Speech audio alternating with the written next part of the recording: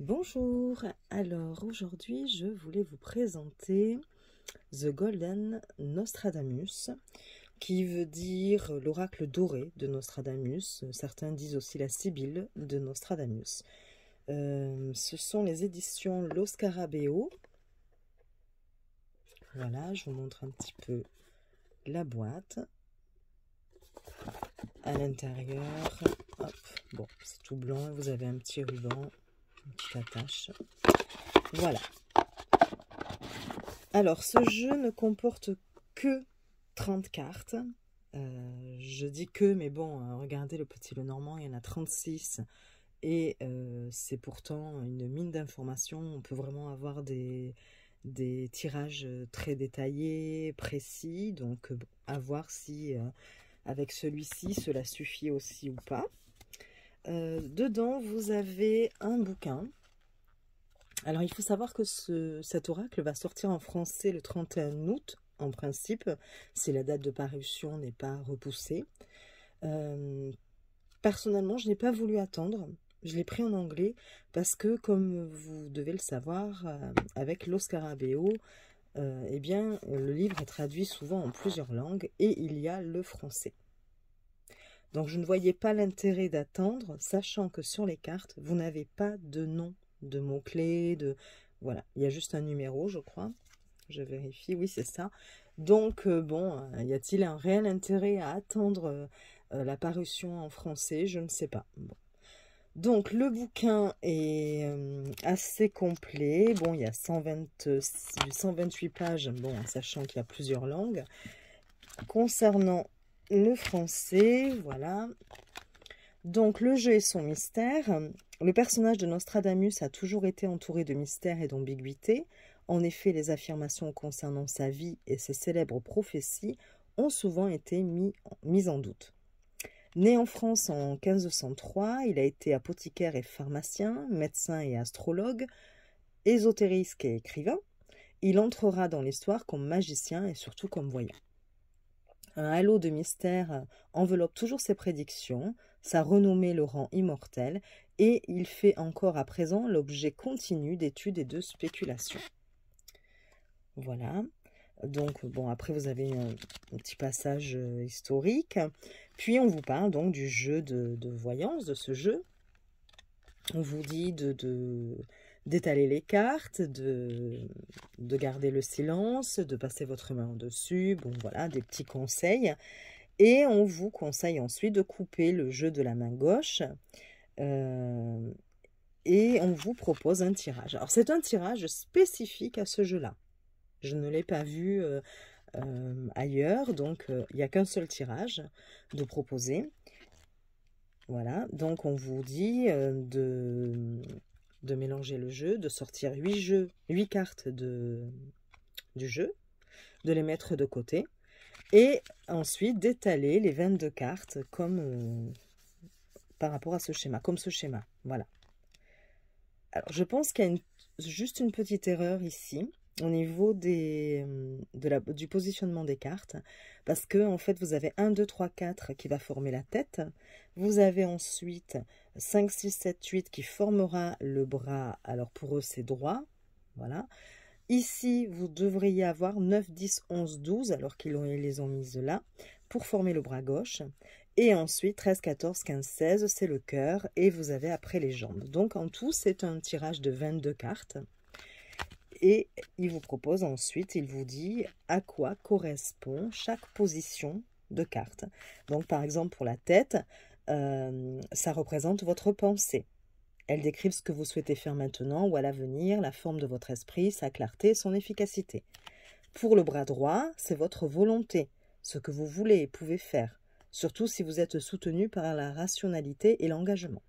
Le bras gauche, ce sont vos capacités, qu'elles soient potentielles ou évidentes, ce sont les actions ou les entreprises que vous pouvez faire, qu'il convient d'entreprendre.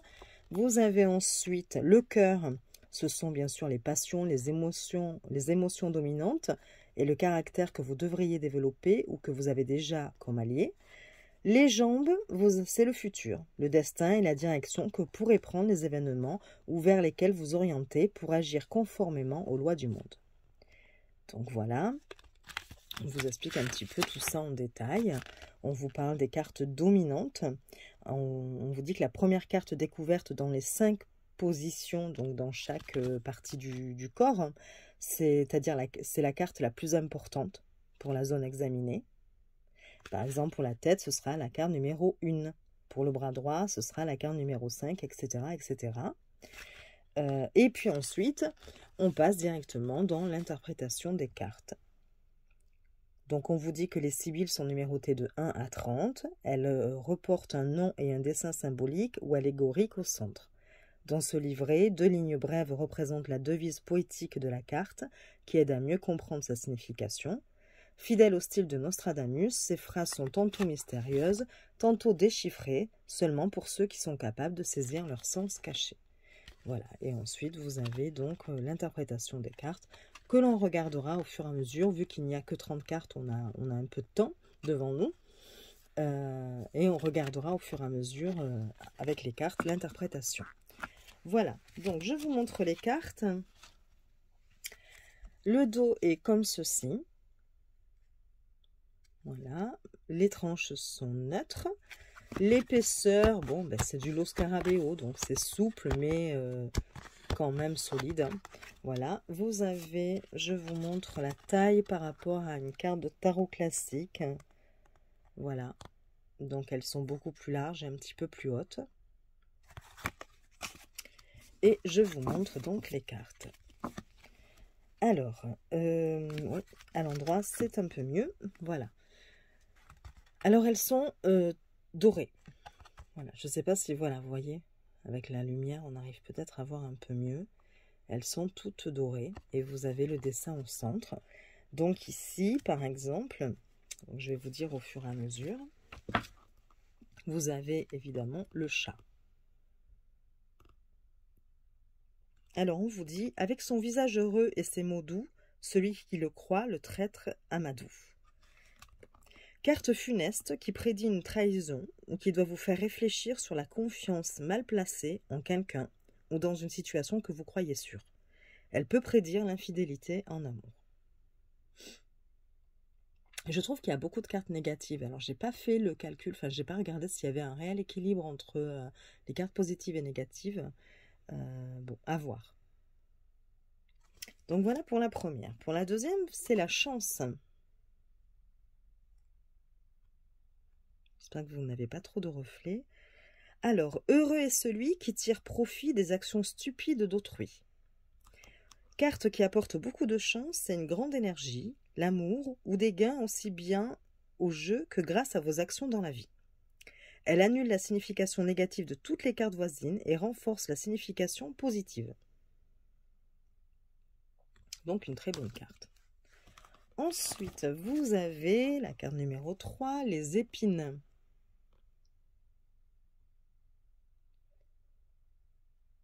Il n'est d'autre certitude sur terre que notre vie est une guerre.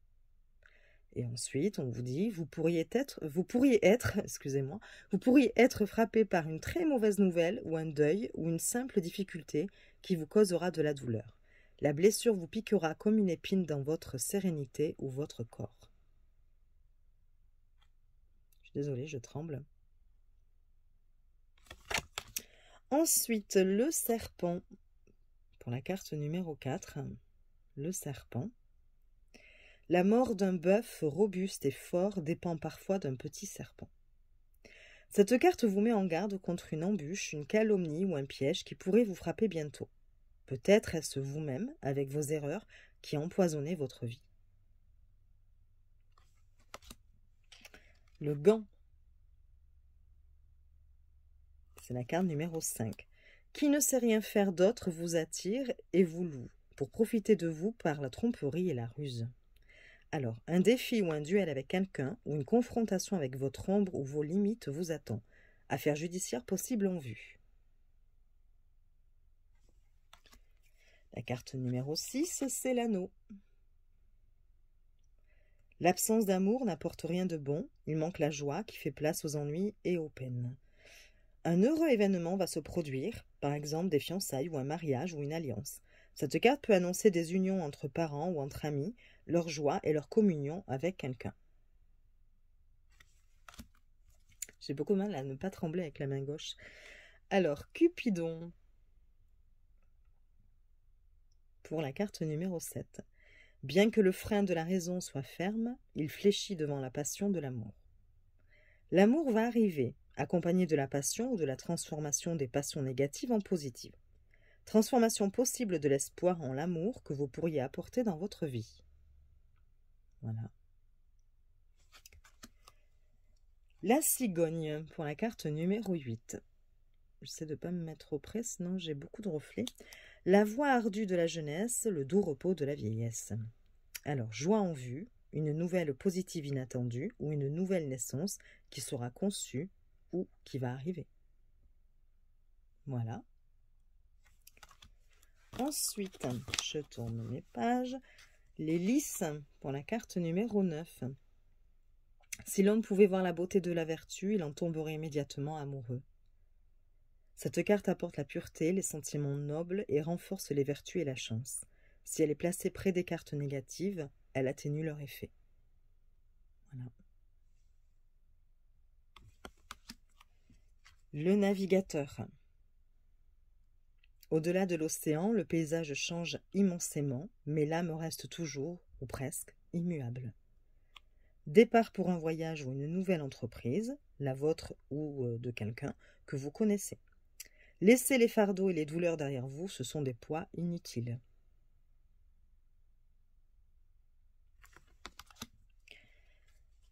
La 11, c'est le livre. Toujours avec les dorures. Hein. Toutes les cartes sont dorées. Alors, tant que le sot garde la bouche fermée, il n'est pas bien différent du sage. Demandez conseil à ceux qui en savent plus que vous, aux sages, ou à ceux que, qui vous connaissent et vous aiment. C'est une carte d'étude et de conseil intérieur fournie par quelqu'un que vous devriez chercher. La douze, c'est le lierre. Rien n'est plus doux, rien n'est plus sûr que d'une vieille l'amitié, l'ardeur pure. Regardez autour de vous, car un ami ou une personne que vous aimez vous aidera, vous soutiendra et vous sera fidèle. Vous serez aidé ou favorisé par vos proches. La numéro 13, c'est le guerrier. N'est de choses trop ardues qui ne peuvent être faites par le courage d'un cœur résolu. Donc là, c'est l'arrivée d'un événement que vous devrez affronter avec courage. La confrontation est favorisée par votre victoire certaine, surtout si vous êtes pur et, vertueux. Voilà. La 14, l'écrin. Bien souvent, les richesses vont à ceux qui ne savent pas quoi en faire. Alors cette carte prédit des gains, des trésors, de bons investissements. Les affaires seront favorisées ou vous récolterez les fruits des plantes semées dans le passé.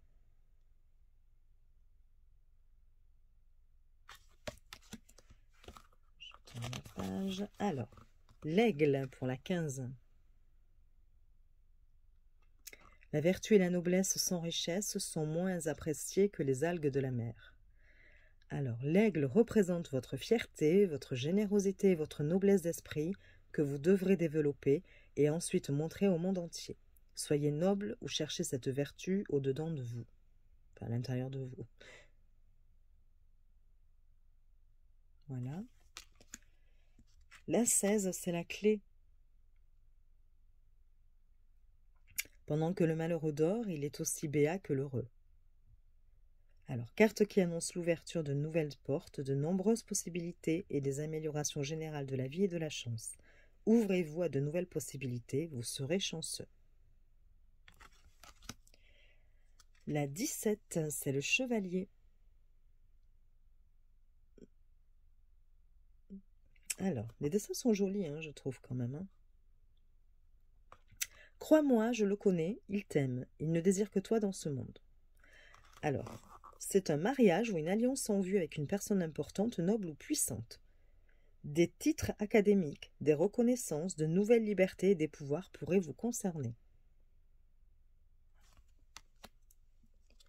18, c'est l'enfant.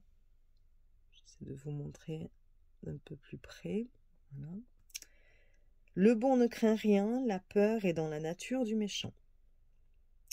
Alors, la simplicité, la bonté, la pureté et l'absence de calcul vous donneront des avantages contre les difficultés, les ennemis ou votre dureté intérieure.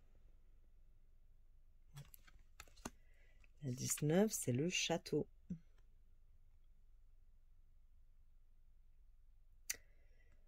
Le téméraire ose poursuivre le fol espoir, le tremblant vit dans la peur.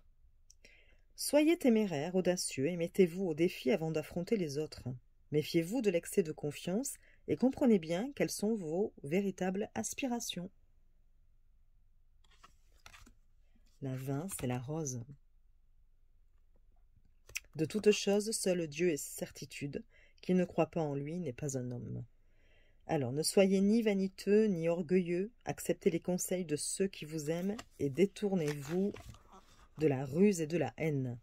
Traitez-vous avec amour et assurez-vous d'avoir pris la bonne voie. 21. Les cerises.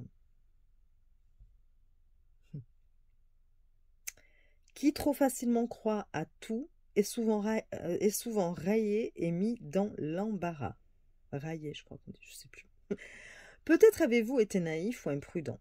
Regardez attentivement au-dedans de vous, enfin à l'intérieur de vous, ou de ceux qui vous entourent pour séparer les illustrations, les illusions alors attendez, je recommence. Regardez attentivement à l'intérieur de vous ou de ceux qui vous entourent pour séparer les illusions des vérités qui vous sont utiles. Voilà. L'arbre. Si tu ne peux pas faire ce que tu veux, contente-toi de faire ce que tu peux. La stabilité de l'arbre doit conseiller la prudence. Ce n'est pas le bon moment pour changer ou risquer, Ménagez vos efforts et soyez stable dans la matière et dans l'esprit. Le soleil. Le sage sait jouir du gain honnête, car qui veut tout, car qui veut tout finit. Alors non, je recommence. Hein. Comme il n'y a pas de ponctuation, le sage sait jouir du gain honnête, car qui veut tout finit par tout perdre. Voilà, c'est plutôt comme ça. Alors, le soleil du succès brillera sur vous, vous recevrez un certain pouvoir et vous serez béni par la chance, mais seulement grâce à votre clarté, à votre honnêteté et à votre engagement. La chimère. Qui veut trop chercher trouve souvent quelque chose qui le chagrine et l'afflige. Cette carte vous rappelle au pragmatisme. Fuyez les rêves, les illusions et l'excès d'ambition. Le malheur ne vous frappera pas si vous avez des idéaux adaptés à vos capacités. Les poissons pour la carte 25. Une fois du domaine public, impossible de revenir en arrière. Le silence vous portera conseil et ne vous exposera pas aux attaques d'autrui. Cessez de penser, immobile et sans être dérangé, vous découvrirez alors le bon chemin.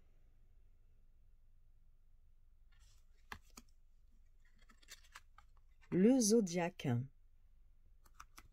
Plus chose est intense, plus le temps à la hâte s'écoule. Chaque âme devrait baser ses actions sur la volonté et la fermeté. Maintenant, vous êtes trop indolent et irréfléchi. La chance ne sourit pas aux paresseux.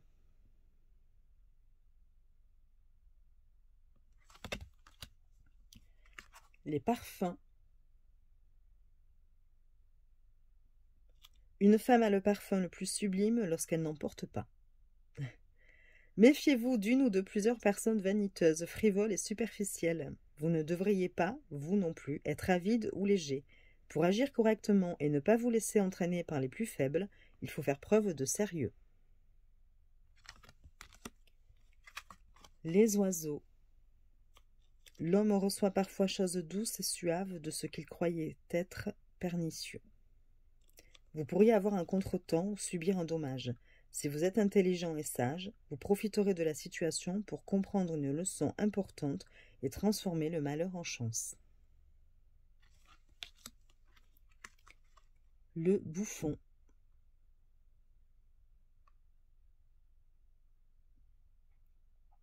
Qui porte la peine peinte sur son visage ne peut feindre d'être joyeux.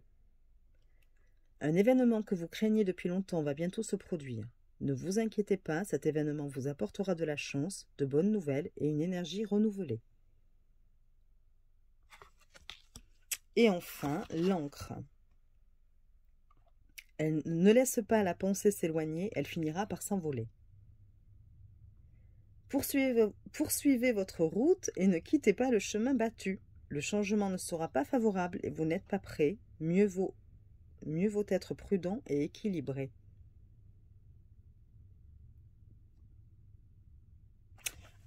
Voilà pour euh, les cartes, la présentation des cartes. Excusez-moi. Alors, elles sont, elles glissent bien, elles se battent plutôt bien. C'est dommage qu'elles ne soient pas un petit peu plus épaisses quand même, je trouve. Et nous allons, pourquoi pas, tirer trois petites cartes.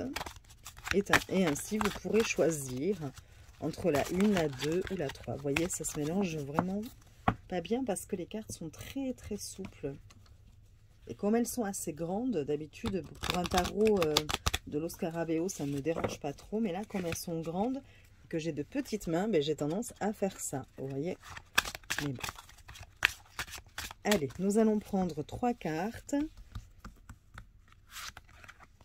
Choix numéro 1. Choix numéro 2, vous pouvez penser à une question ou une situation. Et puis, on va lire ce que nous dit le livret. Voilà. Choix numéro 3. Je vous laisse faire votre choix, vous pouvez mettre pause et nous allons commencer donc par la carte numéro 1. Pour ceux qui ont choisi la numéro 1, nous avons la carte 21. La carte 21, je crois que c'est des cerises. Si mes souvenirs sont bons. Alors attendez, je cherche dans le petit livret, en français plutôt. Voilà, donc les, cerises, c'est ça. Qui trop facilement croit à tout est souvent raillé et mis dans l'embarras. Donc voilà ce que disait la, la petite phrase. Et donc on vous dit, peut-être avez-vous été naïf ou imprudent. Regardez attentivement à l'intérieur de vous ou de ceux qui vous entourent pour séparer les illusions des vérités qui vous sont utiles. Voilà, par rapport à votre question ou à votre situation, on vous dit quand même de, euh, de discerner le vrai du faux de faire attention d'être prudent par rapport aux personnes qui vous entourent ou de ne pas être dans le déni aussi, hein, puisqu'on vous dit euh, que vous pouvez aussi analyser un petit peu euh, ce que vous pensez vous. Hein. Voilà. Pour la carte numéro 2, le choix numéro 2, nous avons, alors je crois que c'était, je ne vais pas dire de bêtises, je me demande si c'était pas les, les, les épines. Oui, c'est ça, les épines. Il n'est d'autre certitude sur Terre que notre vie est une guerre. Donc, le texte, vous pourriez être frappé par une très mauvaise nouvelle ou un deuil ou une simple difficulté qui vous causera de la douleur. La blessure vous piquera comme une épine dans votre sérénité ou votre corps. Bon, là, peut-être une nouvelle qui risquerait de vous déplaire, hein, sans partir non plus dans quelque chose de très très négatif, puisque c'est un tirage général, et puis là, comme ça, fait euh, euh, rapidement. Voilà. Et enfin, pour la carte numéro 3, donc pour le choix numéro 3, nous avons la cigogne. Oui, c'est ça. La carte numéro 8, la cigogne la voix ardue de la jeunesse, le doux repos de la vieillesse. Alors, joie en vue, une nouvelle positive inattendue ou une nouvelle naissance qui sera conçue ou qui va arriver. Donc la dernière carte est plutôt positive. Voilà, c'était un petit peu pour vous montrer. J'espère que cette présentation vous aura plu. Euh, bon, c'est un jeu où je sais que maintenant on a tellement de jeux avec beaucoup de cartes que lorsqu'on voit 30 cartes, euh, moi, la première, il y a des moments, je me dis, ah, il n'y a pas beaucoup de cartes. Euh, bon, voilà. Mais bon, parfois, ce n'est pas la quantité qui prime, c'est plutôt la qualité. Donc, à tester, à voir. Je vous souhaite une bonne journée. Vous pouvez mettre un petit like si la vidéo vous a plu, un petit commentaire, je vous répondrai. Vous pouvez vous abonner, ça me fera plaisir. Et puis, je vous dis à très vite pour de nouvelles vidéos. Des bisous